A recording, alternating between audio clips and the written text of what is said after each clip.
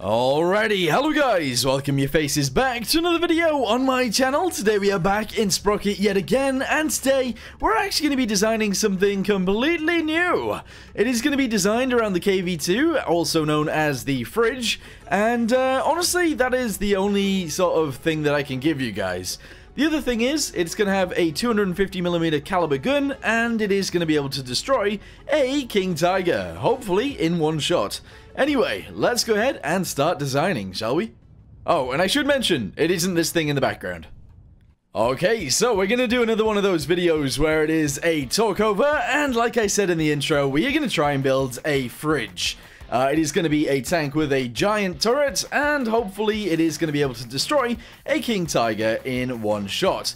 Anyway, we're going to go ahead and start off by adding some tracks, uh, I did want to get some spacing on these guys and put them in groups of about three, uh, but I was finding that a little bit difficult. Uh, don't ask me why, I have no idea why I found it difficult, but there you go. Anyway, I think I did end up settling for groups of two, I made them a little bit smaller, and... Oh no, I did three! I did two groups of three, sorry, I completely forgot about that.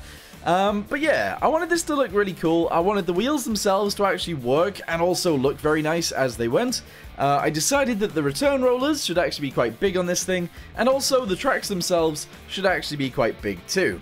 So, as you guys can see, I'm going to go ahead and make them a little bit thicker, and that looks pretty awesome. And then I needed everything else to actually fit in the tracks as well, because at the minute, they didn't. Anyway, that's the tracks done, let's go ahead and move on to the body. So I like the idea of making this thing quite flat, so that's sort of what I ended up doing. Um, I believe I wanted some sort of fenders on this thing, and there you go, fenders have been added. I think I stayed with the default ones, but I actually added the, uh, the new curve on the front end, which actually looks pretty good, so I'm really happy with that. Anyway, I figured the front end was a little bit too flat, so I made it a little bit more angled, and the rear end I also made angled too, because otherwise it was way too flat. I then added a shelf because I thought the shelf would look really cool, and honestly, I think it does. So that is very, very nice. Um, I went ahead and used the Japanese crew hatches, and I added these little uh, viewports above because I thought that would look good. And uh, honestly, I think it does.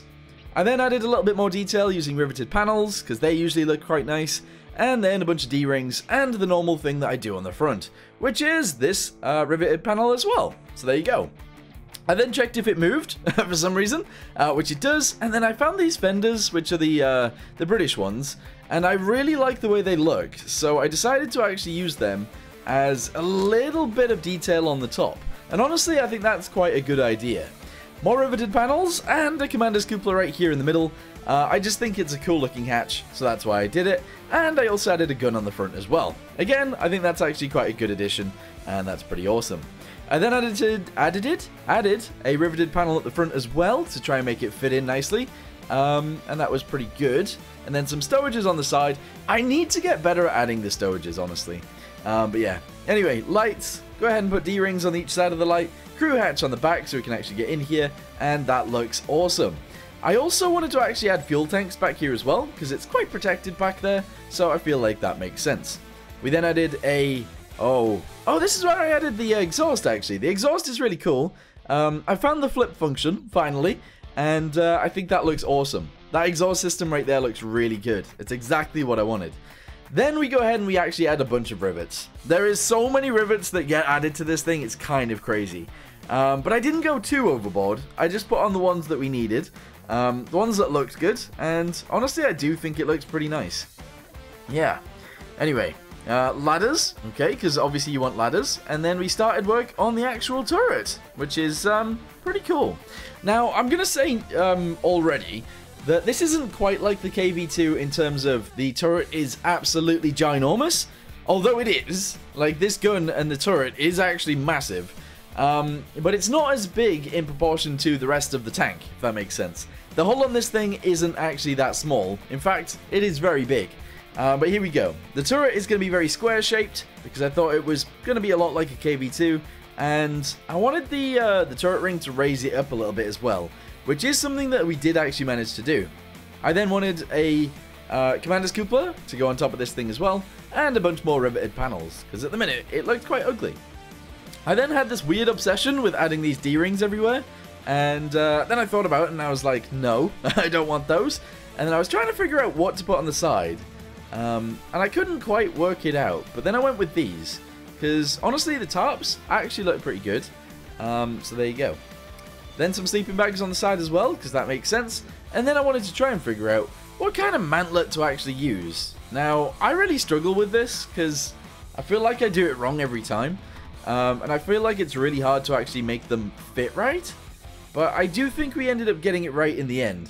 Um, because I think this actually looks pretty awesome. Anyway, I went ahead and done a 250 caliber gun. And then I made it, I think about 1.5 meters long. Uh, if not 2 meters long. And then the gun sight goes up there. And honestly, that looks really cool. But it does make it look a little bit like a Warhammer tank. I'm not to lie. I did side guns because I thought they would be really, really cool. And uh, I do think they sort of fit the aesthetic of the tank. Anyway, more rivets! Add more rivets! Yeah! Um, okay, yeah, so more rivets go on this thing. Honestly, I think rivets look really, really cool. Uh, in some situations, in other situations, they don't really work, but that's okay. Um, and yeah, I didn't quite add them everywhere, and I didn't quite add them in all of the places where you'd think you would add them. Uh, but I do think it looks good in the places where we have them. So there you go. Bam! Nice. Um, so from there, I'm not entirely sure what I do next, to be honest. But um, the rivets look good. I do some testing. I think, yeah, camouflage is next. I wanted this to be, like, nice looking, but we went with some sort of, like, really bright green. And I couldn't decide what country it should belong to either, but I think in the end, we did actually get it. Anyway, um, next, we added some rounds. I kind of feel like this was a bit of a mistake now, so I might change these. Uh, but essentially, I added six rounds in the turret. Um, I then added a bunch of armor everywhere. I don't think I added maximum armor anywhere, unless I did it on the flat pieces, which I think I did, actually, in the end. Um, but yeah, the max amount of armor of this thing is like 200 mil, but most of it is like 140. So that's pretty cool. We'll have to see what that actually counts as against a King Tiger. But anyway, it moves. It's pretty nice. Um, I went ahead and did some ratio changes as well. Um, we had to make everything fit as well, which was kind of crazy. Uh, you know, making things fit is kind of difficult sometimes.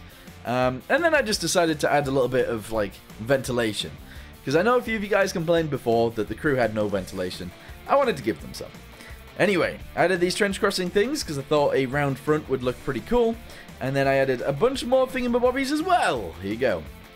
Look at that, more vents on the back. Nice. Some little ladders as well, some little ladders around the front end. And honestly, I think we did a really, really, really good job with this thing. So now, let's go ahead and test it. Okay, so here it is. Do expect it to get annihilated straight away by the King Tiger. We need to learn how to aim, and then we need to shoot.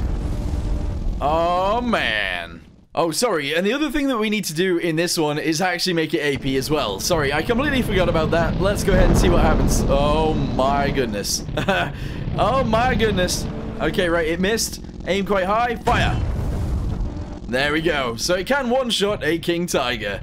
Um, on the other hand, it does actually get annihilated by a King Tiger as well. So both tanks can equally destroy each other. Cool. Okay, guys, I don't expect to do any good on this map, but uh, we are going to try it. So, uh, we killed the King Tiger, okay? We know that it can do its job. However, can it do more than its job? It needs to take out six tanks here. Uh, a bunch of them are actually heavy tanks, and some of them are light tanks. But, how is this going to go? Two of my tanks have already fired and missed their targets, so how is it going to work uh, if that's the case? Well, it's gonna be tricky. So let's see. Here we go. Aim at the target. I have hit the target and it didn't go through. The main reason for that, I believe, is actually because I changed my ammunition from AP to APHE again. So I need to change that. Okay, guys, we're going in again. We have now got AP rounds. Hopefully my allied tanks will actually be able to uh, to work on this one. I don't know whether they will. I really don't, but uh, we're going to try it out. So if I can get all of my guys over here to line up with me, um, we can then actually be a fighting force, and hopefully it'll work. So I'm going to go ahead and sit right here. Hopefully my guys will actually come over to me. I don't think they're going to, though. Where's this guy even at? Oh, never mind. Okay, attack! Just attack, guys! Go, go, go! Okay, I don't know where the enemies are. This is going to be a struggle. This tank actually that I'm in right now is in the wrong place. Like, it's just in a very, very vulnerable position here. And I don't like it. Oh, yikes. I knew it was going to happen, but it's still sad. Two of my guys have died so far to light tanks. I don't know how that's happened, but it has. Okay, some enemies have been spotted. One of them is just driving out in the open right there. Let's try and shoot him first. I think I missed. I think I legit... I don't know what happened there, but I think I missed. Anyway, uh, there's still six enemies. I need to use this gun as soon as possible. There is actually an enemy right here. It didn't go through, but it almost did. All right, reverse. Reverse. I don't think we can tank around from this guy. I don't think we can. Oh, my goodness. Oh, my goodness. Yeah, there you go. So, I think it is worth mentioning um, with this game, and with these tanks, I suppose, uh, is it matters what kind of scenario you use vehicles in. Uh, let's say this guy right here, obviously it has a very short barrel, which means it doesn't have very high velocity, which means it doesn't really go through armor. However, it is designed to have APHE rounds in, or even just HE rounds, to destroy bunkers. And uh, obviously that isn't a scenario in this game, so it doesn't really work. But we're going to go ahead and try again. Uh, we're going to go straight back in there and see if we can uh, at least do a little bit of damage. Let's go. Okie dokie, again, I feel like we are going to struggle with this, but let's go ahead and try it anyway. So, I can see an enemy tank all the way out there. Let's go ahead and try and shoot the light one first. It bounced off the top of it, but it didn't actually count as a hit, so I don't know what happened there. Oh, that guy's already dead. sad. Oh, this is so sad. I can't actually move this one either. It seems to be stuck in a tree. I'm legit stuck in a tree. Ah! Okay, can I just ram the tree down? No, I can't do anything with the tree. Okay, I'm getting out of here with this guy. Let's go. Do we see any more enemies? I see an enemy right there. Aim high. 10 seconds. The guy behind me has been destroyed. Six, five, four, three, two, one. Fire! There we go. We destroyed one tank, guys. That's all we wanted. That's all we've ever wanted. okay, I believe there is another enemy up here. So we're going to go ahead and try and sneak attack it. When I say sneak attack, I mean we're going to go ahead and fully show ourselves. And then shoot it in the side. Oh, my goodness. Uh-oh. Shoot it on the bottom. Yes! Alright, we killed it. Reverse.